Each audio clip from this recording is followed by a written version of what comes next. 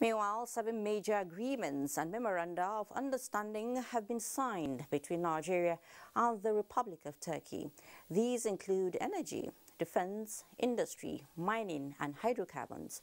The agreement signing ceremony was the high point of the two-day visit to Nigeria by President Recep Tayyip Erdogan of the Republic of Turkey. Again, State House correspondent Adam Sambo has that. President Muhammadu Buhari and the Turkish leader Recep Tayyip Erdogan led their respective countries' delegations to the high-level talks where the major agreements and memoranda of understanding were finalized. Consequently, three agreements and four MOUs were signed by the representatives of the two countries. These include agreements on the avoidance of double taxation with respect to taxes and income, defense industry cooperation, as well as cooperation in the field of sports. The Memorandum of Understanding were on the establishment of mechanisms for political consultations as well as in the fields of mining, energy and hydrocarbons. Uh, already we export like 1 billion scoff of gas to Turkey every year.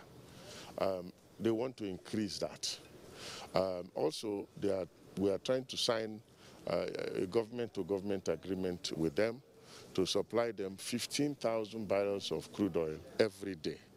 So they are really looking to Nigeria uh, for their energy requirements. The one that affects my ministry is the one to deal with renewable energy, which uh, Turkey government uh, has excelled in that field.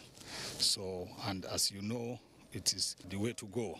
We want to diversify and move more to the uh, renewable energy, that is uh, the solar, the hydro, and things like that. It is not only Turkey that is going to help us along. They are also looking for areas we can assist them. President Muhammadu Buhari described the agreements entered into between the two countries as critical to their socio-economic growth and development. We have agreed that implementation is to commence immediately, aimed at strengthening this cordial relationship between Nigeria and Turkey. In the course of our discussions, we also reviewed the travel ban list based on the revised COVID-19 protocols and removed Turkey from Nigeria's travel ban list. Turkey has indeed achieved remarkable success in addressing the COVID-19 pandemic.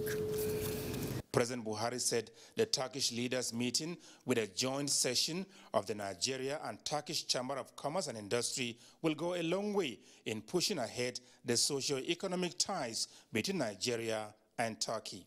I commend Your Excellency for your leadership and generosity in receiving and accommodating 4 million refugees fleeing from conflict areas, particularly in Iraq, Syria, and Afghanistan. You have indeed set an example to the rest of the world. A state luncheon was later held by the nation's first family in honor of President Erdogan and his wife, as well as members of the Turkish delegation in demonstration of Nigeria's hospitality. From the State House, Adamu Sambu, NTA News.